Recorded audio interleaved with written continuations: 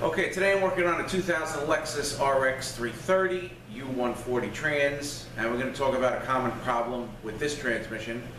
Uh, there's really only one common problem, I feel, with this transmission, whether you may have uh, uh, something like no reverse, uh, issues going forward, a clogged filter. Uh, The number one problem with this particular transmission is the gear train. All right, it starts with the front planetary coming apart and then it kind of just balloons from there. I got one here now, the one out of this transmission, of course, is no good. And whenever we get these jobs in, with this particular transmission, I have never seen a good one yet.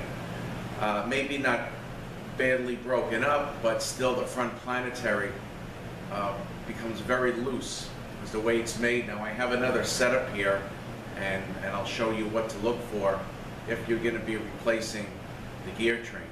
Again, the main problem is the front planetary. That's what breaks apart and usually takes the rest of the gear train out with it. So I have it here on the bench, and I'll get a little closer, and I'll show you what happened to this. This one really uh, wasn't that bad.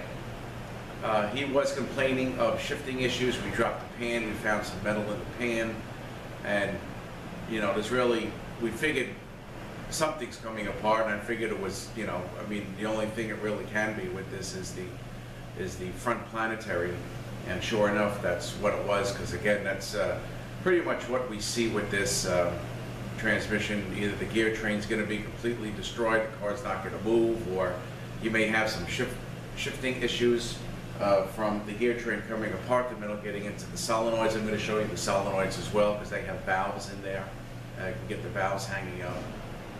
So, just gonna be a quick video. Let me get you in on the planet set. I wanna show you what happened, or what happens.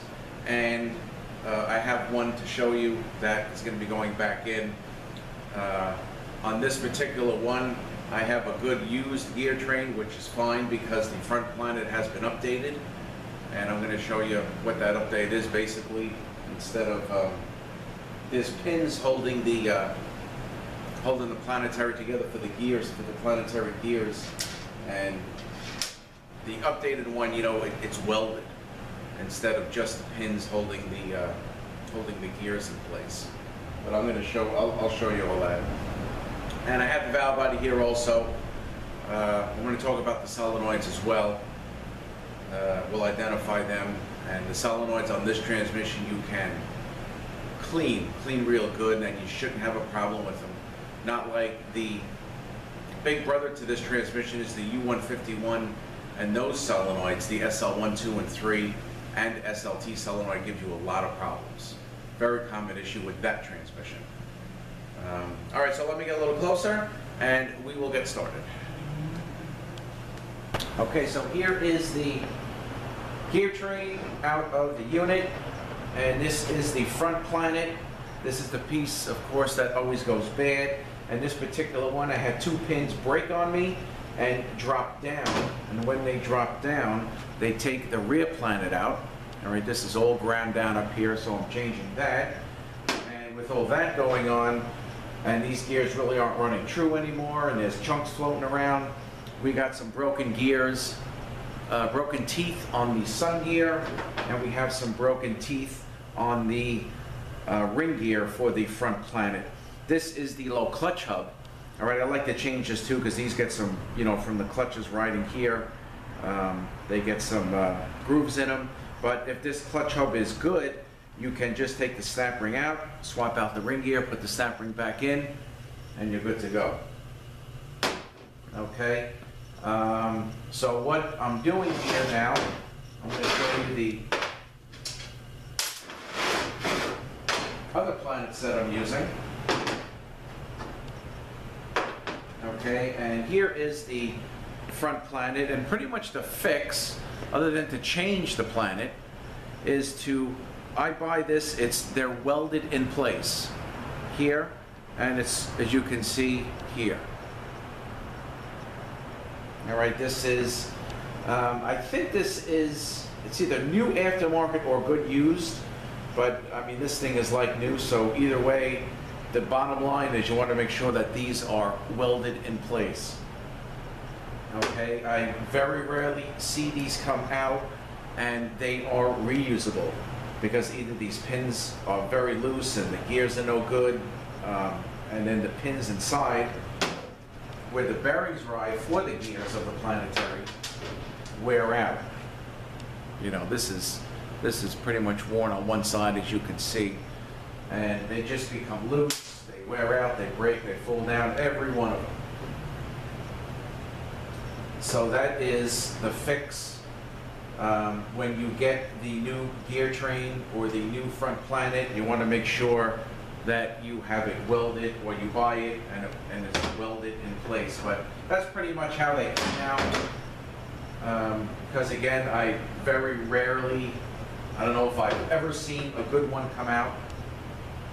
Even if these pins are loose, you know, I'd just be suspect of this whole setup and, and at least this and would want to change it.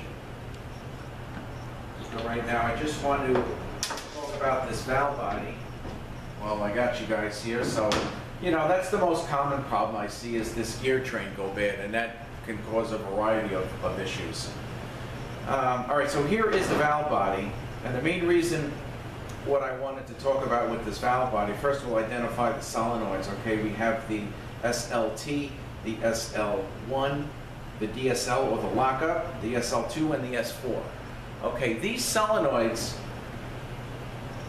pretty, are pretty good, meaning if you clean these up, these three, you clean them up real good, even if this planet set uh, comes in, and I've seen some of these things destroyed, I think even on the, the U-140 teardown video I have, these things are in real, real bad shape. If you clean these three up real good, I clean them in the solvent, I blow them out good, maybe spray some brake clean in there, blow it out good. You can more than likely uh, use these three over again. These are on off, so you can clean these up, you can click them, make sure they click good, you can put them back. Um, out of all the ones I did, uh, maybe two or three times I've had to change either the SL1 or SL2 solenoid because every once in a while we give a funky shift, so I would just see what solenoid's turning on and off at that particular time, change it out, and, and, and uh, it was okay. So honestly, it might have been two or three times out of all the units that I'm doing, uh, but for the most part, these solenoids, if you clean them up, you can reuse them. All right, it's not like the big brother to this transmission is the U151, and those solenoids are a, are a nightmare. You got to change them. Every one that I do, those solenoids have to be changed. The SLT, which is the pressure, and the SL1, 2, and 3 on the U151s have to be changed. All right, but on the early uh, U140 valve bodies, uh, these can be used over again. Now on the later years, uh, they did switch to the small ones. Uh, I really haven't done too many of those. So I can't tell you 100% honestly if those solenoids can be used over again. If they are similar to the uh, U151s, you may have a problem with them. But what I had to do one time, I did a, a, a 2008 RAV4, and it did have the smaller solenoids in them. And I had to get this thing, this guy was uh, traveling a lot. Um, he had a lot of miles on the car, maybe he's a salesman or something, I'm not sure, but I didn't want to have any issues with this guy coming back, so I wanted to change the solenoids, the small ones, and I couldn't get them. He needed the car by a certain time, the solenoids were a couple of days away, or whatever the case may be at the time. So what I actually did was I bought, uh, I had, I didn't buy it, I had a harness, an early, this is an early harness, okay, so what I did was when I rebuilt the transmission, I changed out the harness to an early one. It's the same here on the outside for the external harness, and I installed an early valve body, and the thing worked great. No problems at all. And to this day, that valve body is still in there. So that is um, uh, an option if you have it. I had to buy one of these harnesses for another car from Lexus, and it was $40. Well, that was my cost. I think the list might be 60 or 65, and these valve bodies are readily available online. You can buy them, but again, these solenoids generally are not a problem. Very, very rarely do I have a problem with them. Now, I just wanted to cover one other thing before we go. okay, and that is early RAV4 2001 to 2003 with this U140 transmission in it, okay, all those, from those years, 01 to 03, they all have bad ECMs, all have bad computers. And when the computer goes bad, you're gonna get a P0750, a P0755, and if you do not catch it in time, you're gonna take the transmission out. The computer will take the transmission out. Okay, I believe what's going on from research that I've done is the driver is not completely turning off the solenoid and it's dragging on, causing the clutch to be partially applied where you may not even know. And by, by the time uh, you may find out something's going on, it may be too late. Usually have an issue on the 2-3 shift. Okay, so when I get these 2001 2003s in, haven't had any in a couple of years, but I did do one a few years ago. I was talking to the people and I asked them if uh, they ever had the computer changed because they all go bad. Uh, they are the original owners. They don't believe they did have the computer changed. So um, the transmission at that point was no good. So I told them we got to do the transmission and we got to do the computer 100% or you're going to have a problem. All right, if you do catch it in time, you can change the computer uh, and try it. See see how, how it is. All right, they they do sell these um, these people that fix the computers. I use a guy in Miami called Solo Electronics. Um, every every one of these companies that repair these things pretty much know what's going on and know what they got to do to fix them. It's a plug and play also. And that's 01 to 03. It was so bad that they actually extended the warranties on the transmissions. Uh, I think up to 120, 10 years to 120,000 miles. But that's, uh, you know, of course, that's long gone. So I just wanted to go over that uh, on those particular years with the 750 code, 755 code. Um, and I guess that's about it for this uh, U140. Again, number one problem is this planetary goes bad. I don't think I've ever seen one that I didn't have to change out of all of these uh, that I've done. Maybe back in the day when I was working on the earlier cars that came in with bad computers, you know, these pins, uh, if you know about it, you know the pins are loose.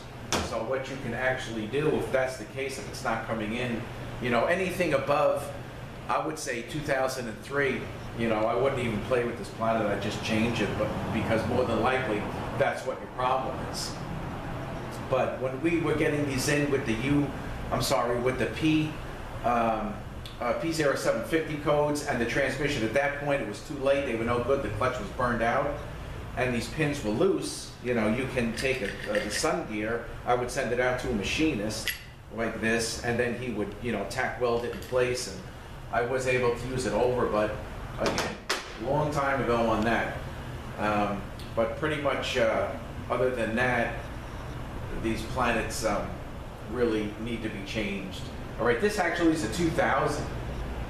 Um, and that problem didn't affect uh, the Lexus. It's only, I believe it was just the RAV4s, but every one of them was no good. Uh, all right, so I guess that is about it for this U140 Common Issues. Uh, thank you guys for watching. Have a great day, and we will see you next one.